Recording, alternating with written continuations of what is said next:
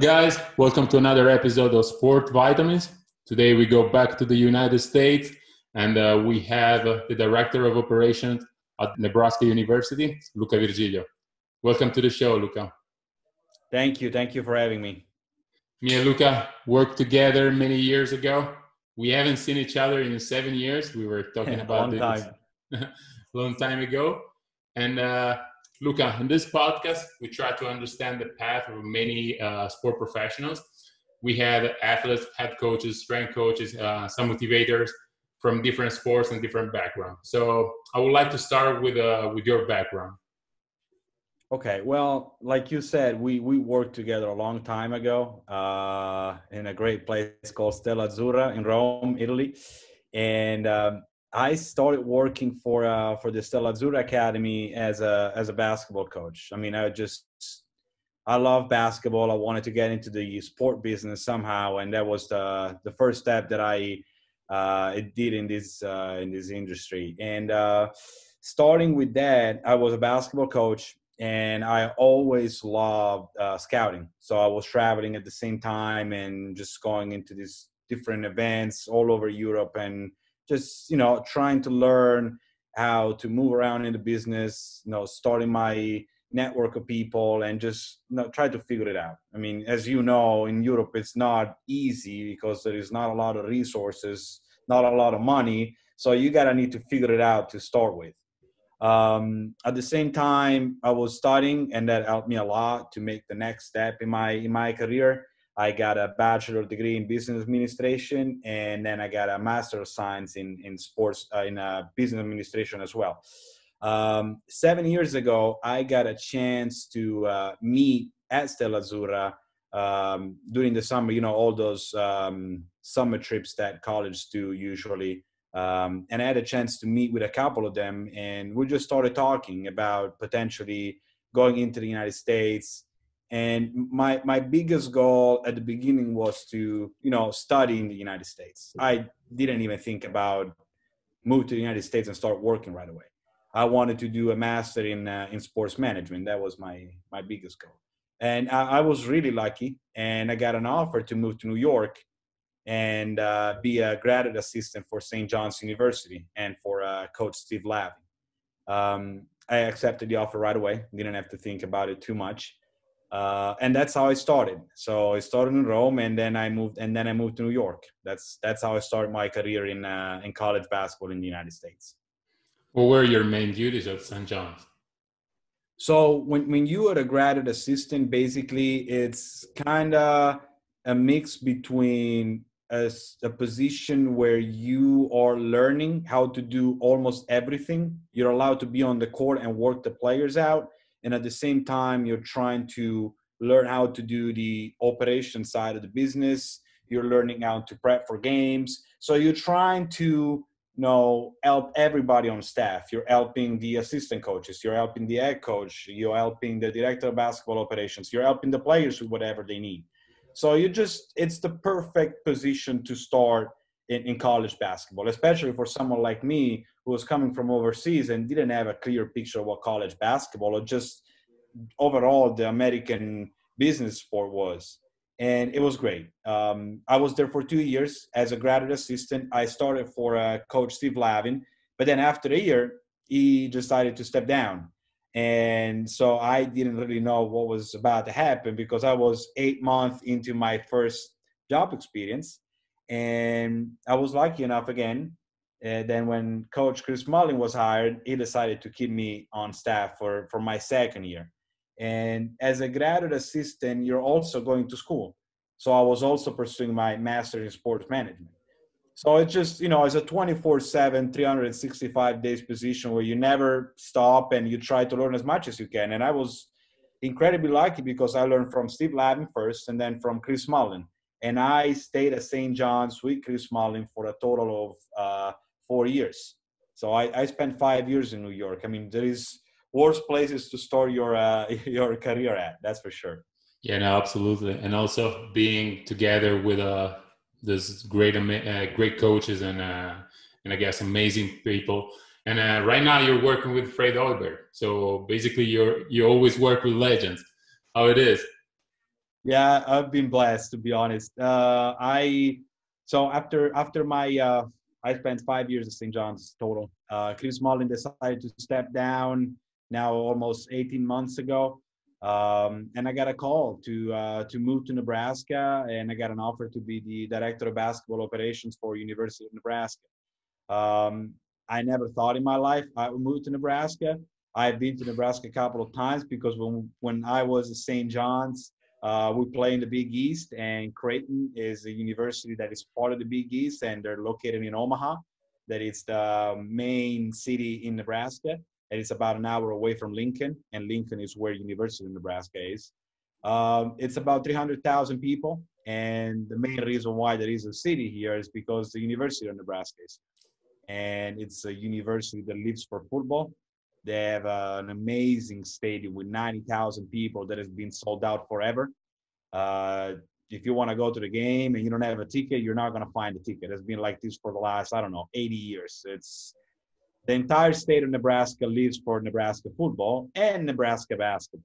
We have an arena that is brand new. It's five years old. It's 12,000 people. Can get up to 14,000 too. Has always been sold out, and we were not really good this year. We just won seven games, but sold out every game. Even when we lost 15 games in a row, not an empty seat in the stands. And funny thing is that they love volleyball too, and they have an arena of 9,000 people sold out every game. And volleyball is it's amazing. They have an amazing team. The head coach for volleyball has been Final Four, I think, three times in the last five years. And I had no idea that volleyball was big in in Nebraska, and that's another thing that I find out. Yeah, that's amazing. And uh, Omaha is also famous for baseball. You didn't mention yeah, it, but I know. it's super they, famous for baseball. World Series. Yeah. Yeah, Yeah. exactly. So, how how different is your position right now in Nebraska compared to what you were doing in St. John's? So my last three years at St. John's, I was uh, special assistant to the head coach first, and then my last two years I was management analyst. My last two years I mainly focused on analytics. So I was basically running all the numbers and the data to provide as much information as possible to the coaching staff when it comes to you know player rotation or even in college basketball you need to basically decide your opponents for the first 12 games of the season. So you pick your opponents based on analytics. And i was the one that was putting together all the numbers to say okay let's play opponent b instead of opponent a. Now that i'm in nebraska and i'm the director of basketball operations my main responsibility is the team budget. I'm basically the cfo of the of the program. So when when we need to spend money, everything has to go through me, and I'm the connection between senior administration, so the athletic director, and the university CFO, and our basketball program. So that's my main duty. And then you know I have all the other smaller duties that are my responsibilities, and that's the day-to-day operations. Everything that happens that that happens off the court goes through me. Everything that goes on the court as Coach Hoiberg. Everything that's off the court, it's me. And then we have one assistant coaches that uh, his main responsibility is recruiting. So you know these are the three main um, to make it as simple as possible. These are the three main um, characters in the in the picture right now. So basically, you don't work on the court anymore, right? No, no. As basically in college basketball, there are four people that are allowed on the court: the head coach and three assistant coaches. Those four are the ones that work the players out every time. Uh, it's just an NCAA rule where you're not allowed to to be on the court. So if I want to work a, a kid out, I cannot do that. Uh, assistant coaches are the ones that are doing that. They're Right. very strict on those type of rules here in uh, in, uh, in college basketball. Got it. So, what does one uh, of your typical days look like? Well, you know, right now that we are about five weeks away from the beginning of the season, we like to work out in the morning. Uh, so I usually get into the office around 7 a.m. We do about an hour prep for practice, and then the guys start in the weight room at about 8. They go for 45 to 50 minutes in the weight room, and, and then they get on the court. And that's usually, they, they usually lift right now the three times a week.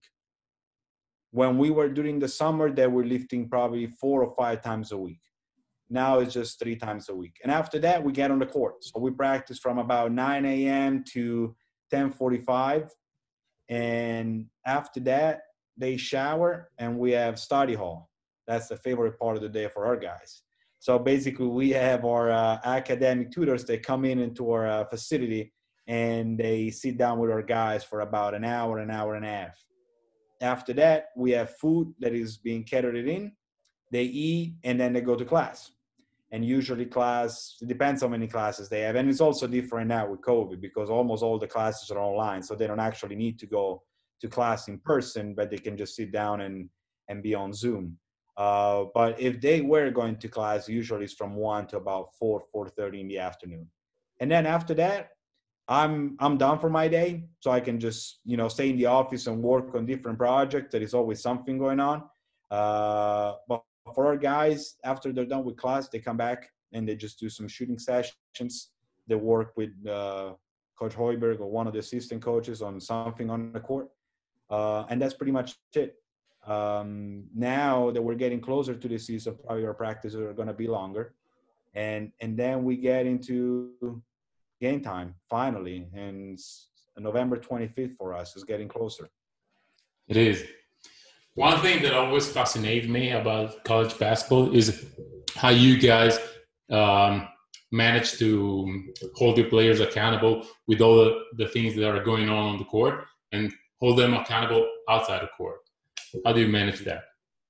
Well, that's definitely one of the most important things. When you're building a program from scratch, and that's what we had to do here. Basically, when when Coach Hoiberg got the job, we just had two players returning, and so you usually when you have an I major program like we have, you have 13 scholarship players plus three or four walk-ons, and walk-ons are usually the players that are not on scholarship, so they pay uh, the tuition for the school and they just are part of your team. Usually, are just practice players to make it easier um, the, the main goal when you starting from scratch is to build the foundation of the program and to do that you need to start with high character guys to build you know culture and that's that's the most important thing when you're starting from scratch that's why our main focus was about building the foundation and last year we struggled on the court a lot because we were trying to send the right message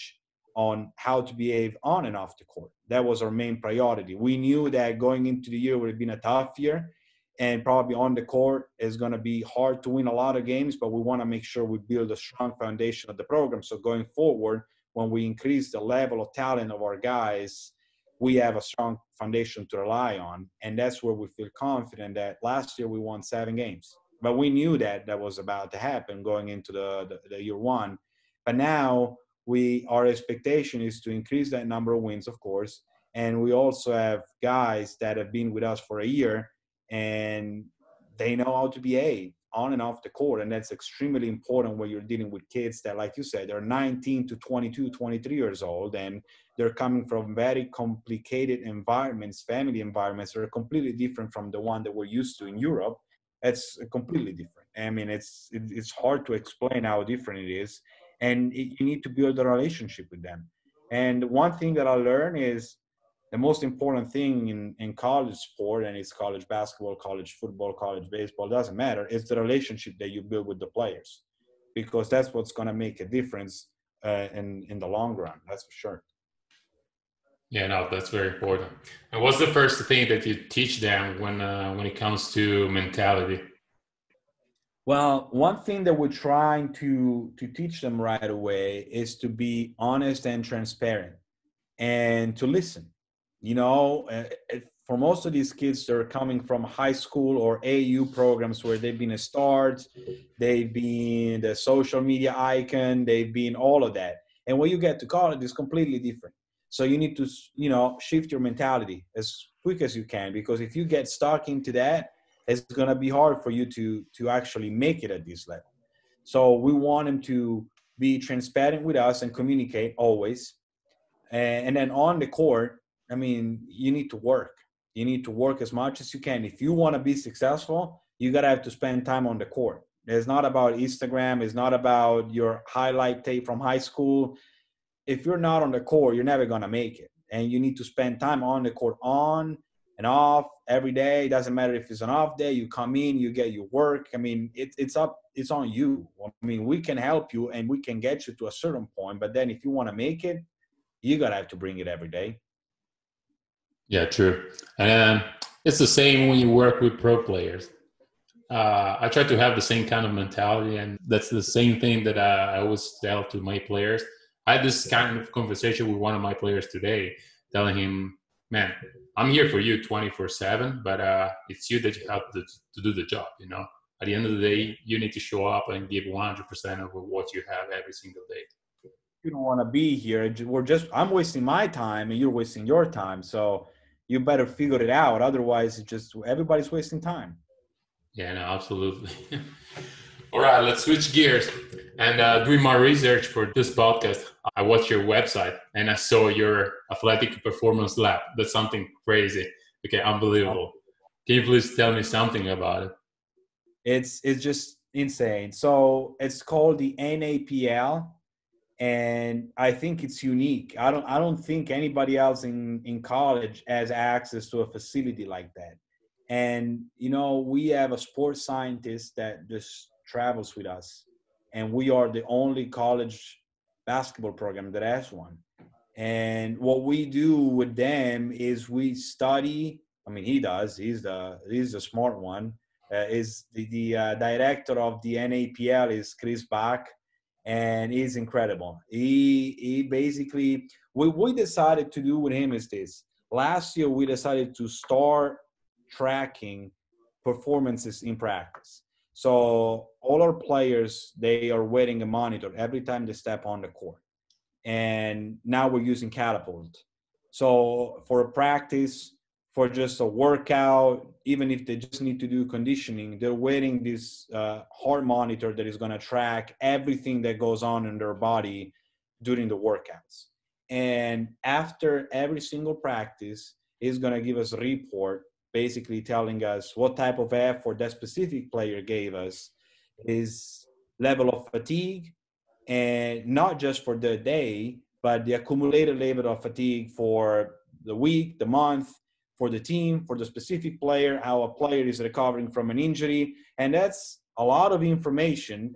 But the good thing is that he is able to filter that to give us what we actually need because sometimes it can get messy. It can get where you have so much information, so much data, and you actually don't use it. So we decided to focus right now mainly on that. And he provides us with all this information. So, for example, if we're going for four or five days in a row, and he's the first one going to Coach Hoiberg and telling us like, "Hey, player A, player B, they need to stop right now because otherwise they're gonna get hurt real quick or real soon." And that's extremely helpful, especially when you're doing like you know prep for the season during the summer to tell you exactly if the practices that we're doing are an exact simulation of a game effort and we can use the numbers to prove that and we can show the players. Like sometimes you have players that want to come in too much. You have, you know, both sides of the spectrum. You have kids that don't like to come in at all, or kids that live in the gym. And sometimes you need to stop the kids that are coming in the gym too much. And like, dude, we just practiced three hours this morning. If you still have energy to go for two hours at night, it means that you're not going hard enough in practice. But you can actually show them the numbers, and that always helps. And one thing that I want to mention too is we have the NAPL, like I said, and it helps us because at the beginning of every season, we run our own combine. So basically, we put our players through the same combine that NBA players go through before the draft. And we show them a comparison between, okay, these are your numbers right here, and these are the average number from an NBA combine.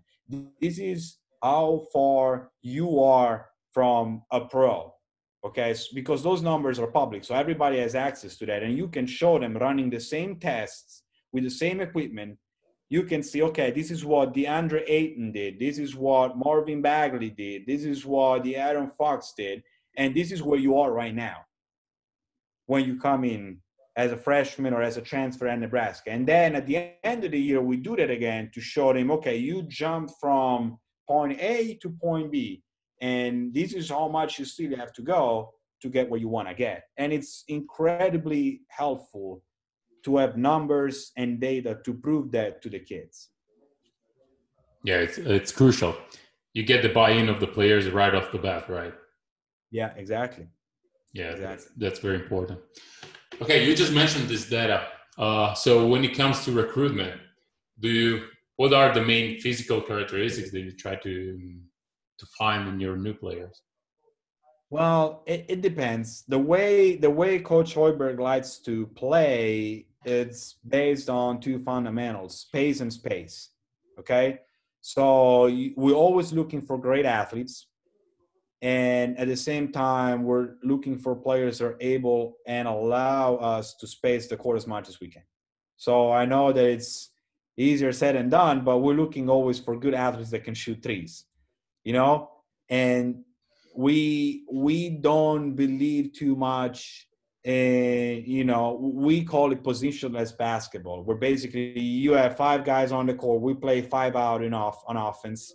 So everybody needs to be able to play in all five spots. Of course, you're gonna prefer to have a guy that is six eight, six nine, six ten, but our starting five is six eight. Is a kid from France that is 19 years old and is an incredible athlete. Our backup center is a kid from England that is 6'11, but he has a 7'3 wingspan and he can run up and down the court.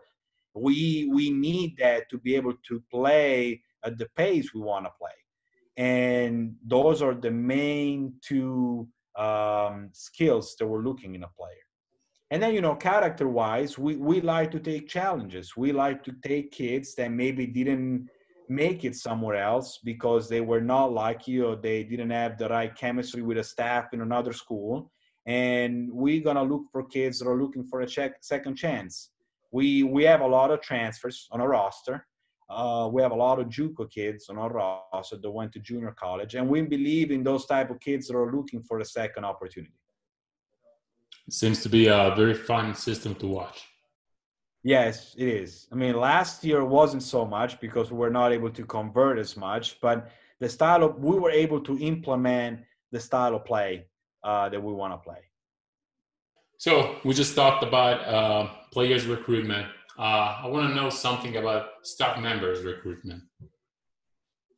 Well, you know, he Coach Hoiberg has a very um, NBA oriented mentality.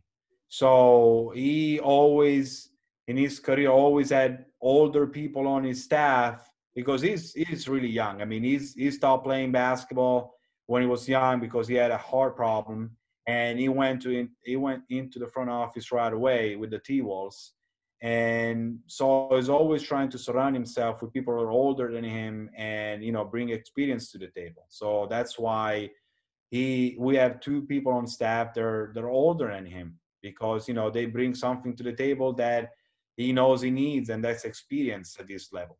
And and then after that you know it's it's just people that can connect with the players because in college there are a lot of things that are important, but your relationship with the players is going to be what matters the most. Because there's going to be times where it's going to be tough to communicate with a kid when he's 19, 20 years old. And the, the kids are going to have a lot of pressure when they're playing in front of 20,000 people. And if you don't have that relationship with them, it's going to be hard for you to tell them some things in the heat of the moment.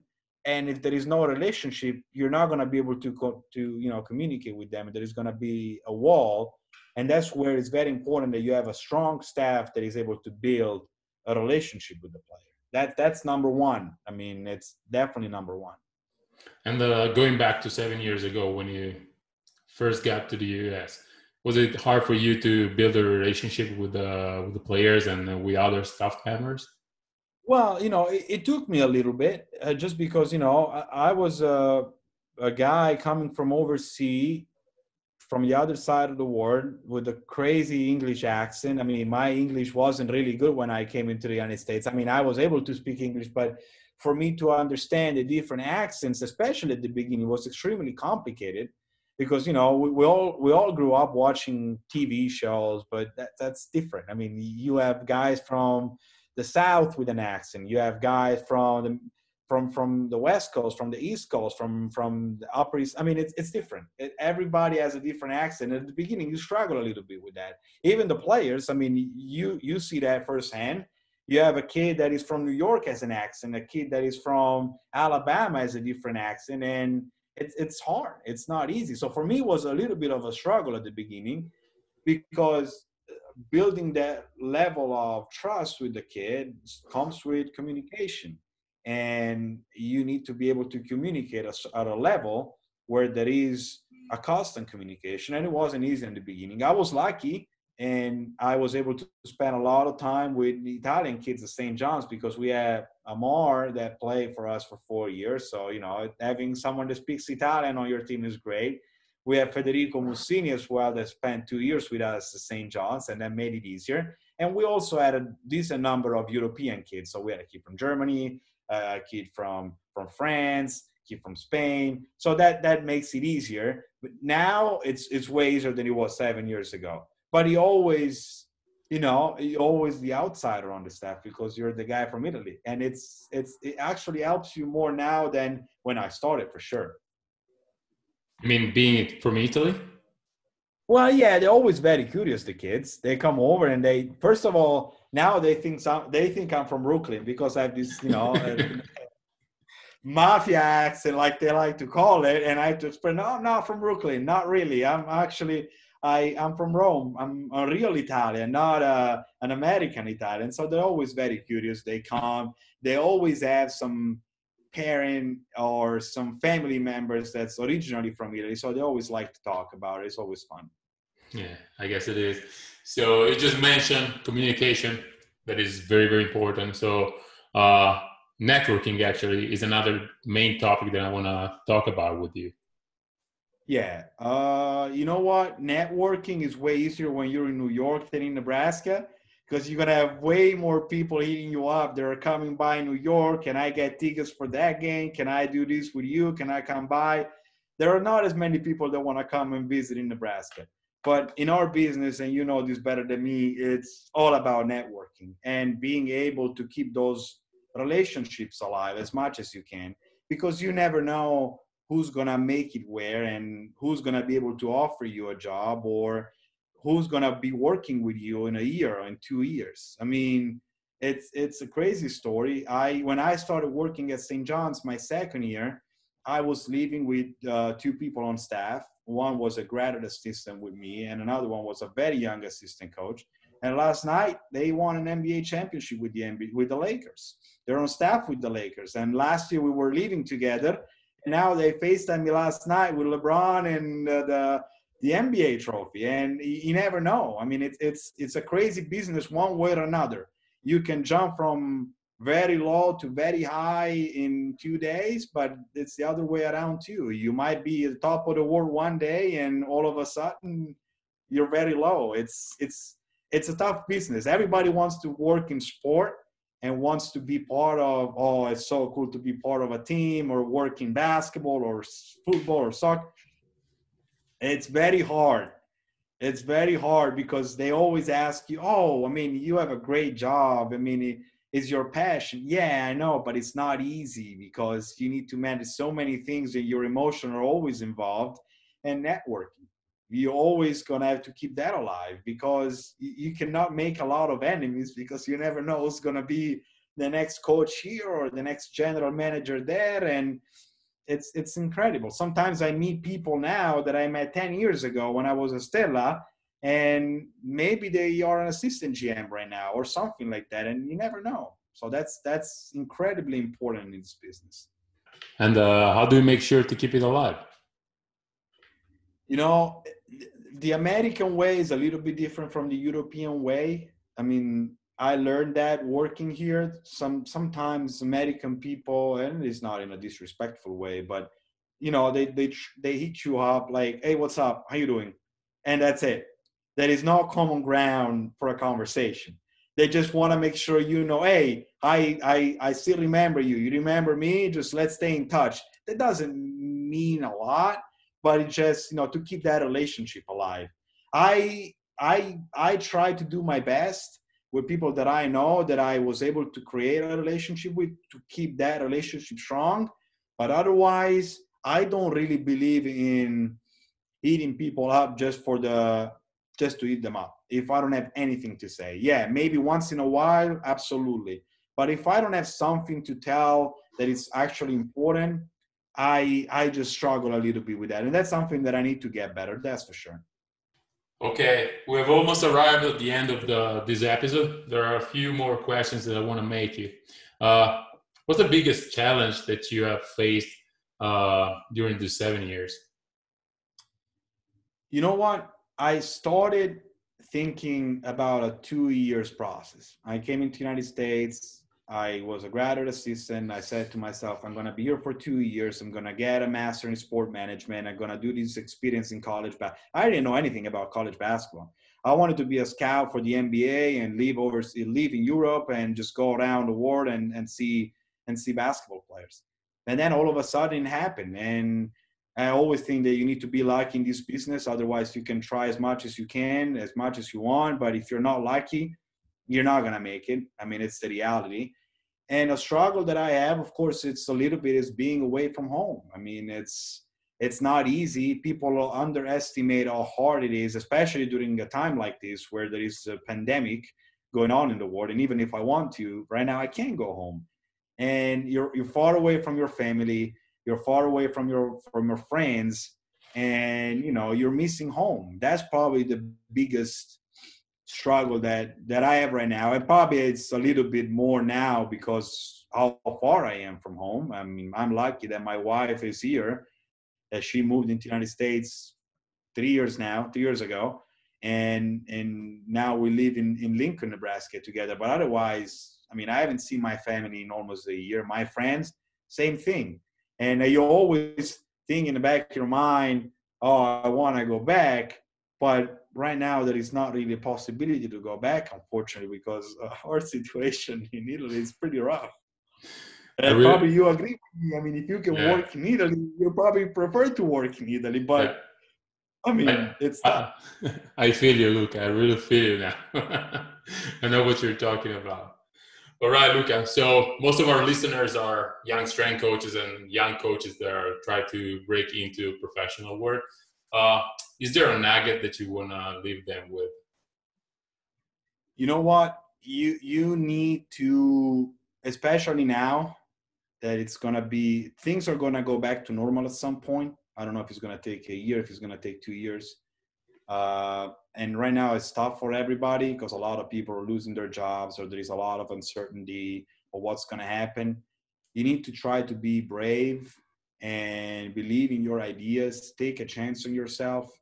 And even if you have to spend two or three months away from home where you're learning from somebody and you're going you have a chance to go somewhere and learn from somebody i think this is this is the best time to do that and i know of course there is covid and it's going to be tough but as soon as things go back to normal I I have a chance. I had a chance to meet a lot of people that came over to New York and they spent a month, two months with us. A lot of Italian people. They reach out to me, and Coach Mullin was great with that. And we open our doors to everybody. If we had somebody from overseas or somebody from the United States that wanted to come and see and learn with their own eyes how it how it works, that's the most important thing that you can do. And you can learn a lot and you can you can meet people and you never know. Like you go and you travel to the united states you spend a couple of months in college a a couple of months in college b and you build the relationship and you learn a lot from how people do things here in the united states. That's my suggestion.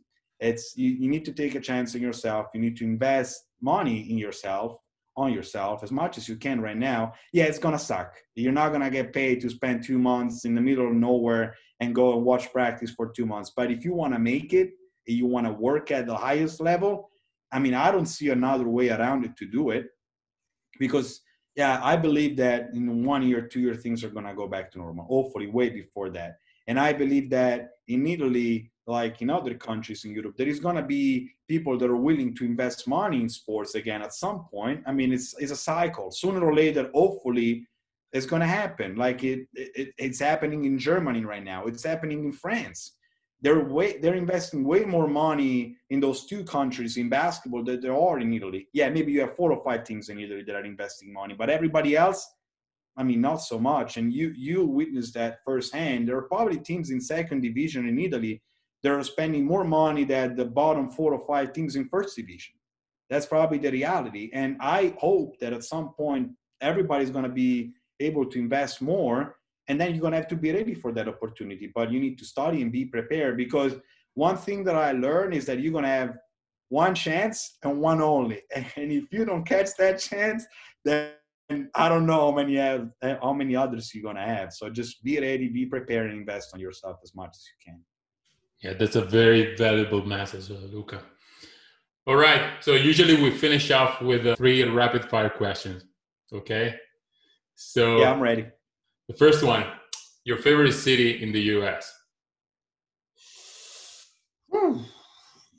Oh boy. Uh, I mean New York.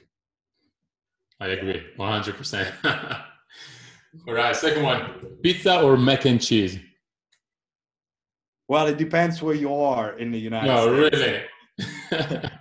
if you if you move away from the East Coast, eating pizza is it's really hard. I mean, you get used to it. Now I got used to eat pizza in Nebraska, but if you're on the East Coast, you go with pizza. If you move closer to the Midwest, then you go with mac and cheese. Actually, if you're Italian, also eating mac and cheese is tough. Yeah, definitely, but yeah. better than eating that domino, probably. All right, your next goal, Luca. My next goal, I honestly, I don't know. It's I love college basketball. I mean, I I really do. I never thought I would like it this much.